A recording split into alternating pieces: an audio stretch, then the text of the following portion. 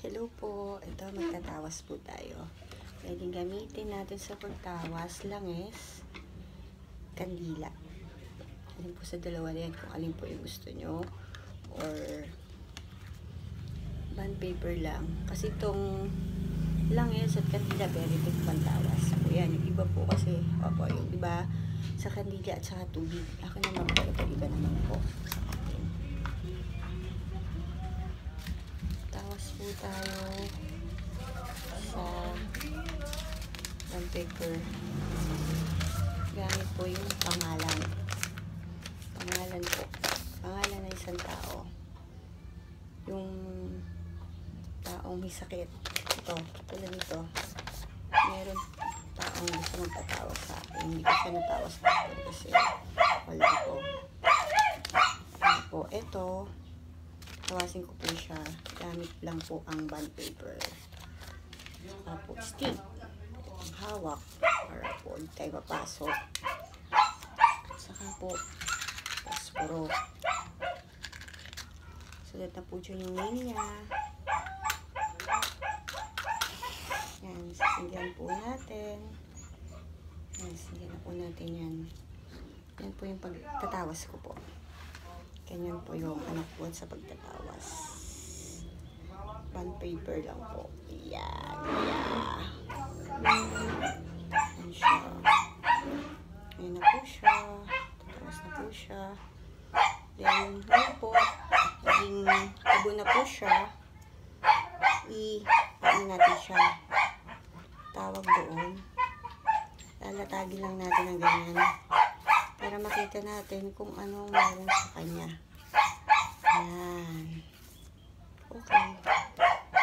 Kita ko na po. Kung anong klase meron sa kanya. Kasi nasa kadobol siya niya. Hindi daw siya makatulog. Hindi siya makaano. Makikita ko po sa inyo ha. Kung makikita nyo po. Kung open po yung third eye nyo, may makikita kayong mukha po dito na kakaiba. Ito po siya. Po sa inyo. Ayan po. Ayan. Kita niyo po siya. Medyo malabo po. Kasi medyo malabo po siya eh. May face po siya dito. Yan, face. May face siya. Yan, may face siya dyan. Yan po. Sakit daw po siya niya. Yan po, ang face niya. Para po siyang nausog. Yan po, babae po. Yan po yung face. Na nakita ko doon sa tawas ko dito sa abo. Try naman po natin, magtawas naman po tayo. Ang gamit ay baby oil. Tapos na tayo dito. Baby oil naman po siya at saka kandila.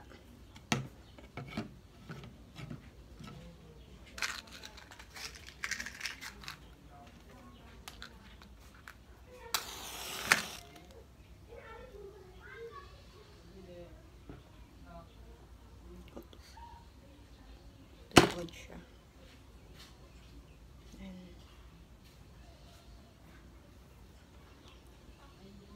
Ako. Wait. Tutuod siya. Dapat hindi siya tumuwad. Para straight.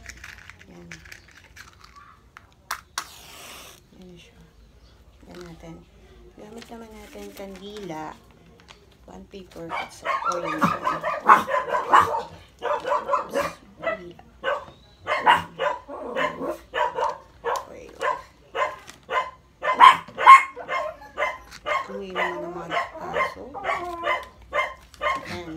Kandila at saka baby oil naman po ang gamit natin.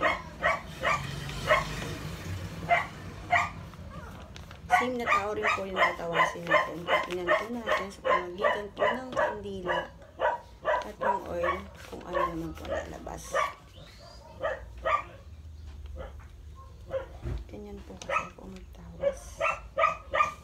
Oo. Umiyak siya. Masyadong matindi ang ano nito sa kanya ha.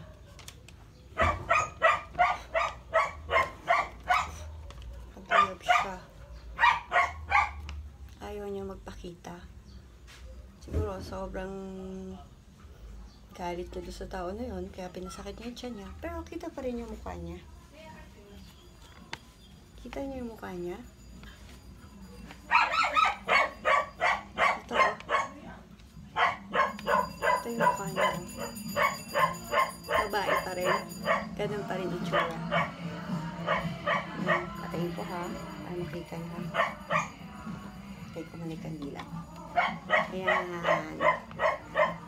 Ito siya. Yan. Ito. Ito siya. Babae pa rin. Kaya nasunog, ayaw niya mapakita. Siguro sobrang ano niya dun sa tao na yun. Ah, tuwa. No, sobrang, alam mo naman, tuwa or galit o something. Gusto niya, ito po siya. Same din po siya rito sa abo. Kaso nga lang po, hindi ko po may ano yung abo kasi po, malalaglag po yung abo. Ko sanay kasi mag ano eh, ito po siya. Same din po, mag same din po yung mukha nila. Ay. Yan, same lang po. Isa lang po. Ang gumagawa po dun sa tao na yon. Kasi po, isang araw po punti dito, masakit daw po tiyan niya. Pinadoktor na daw po, pinaano, wala pa rin daw po epekto yung gamot. Nagpatawas po. Sabi ko, iwan na lang po pangalan, tatawasin ko yan, balik na lang po sila mamayang hapon. Kaya ito po, natawas ko. Babae po may gawa. Yung usog po, may laman. May something. Tapos po, dito rin po uli. Siya pa rin po. Yung babae pa rin po. Dito siya sa baba. Hindi niyo po kasi makikita kasi po abo eh. Pero kung po-focus ko po, masyadong mahirapan kayo. Ayan po siya. Yan siya. Ito siya sa sa oil. Oil at saka kandila. Ayan. Kita nyo po. Mm, Kayas lang po. Ganyan po yung pagtatawas na dalawang klaseng pagtatawas ko po. Gamit ang bond paper, tabo, bond paper, at saka kandila at oil. Yun po, tatawas ko. Pag ho, wala lumabas sa tawas, ibig sabihin po, pang doktor po siya. Walang halo, walang halong iba. Pero pag lumabas po sa tawas, ibig sabihin po nun, may something po.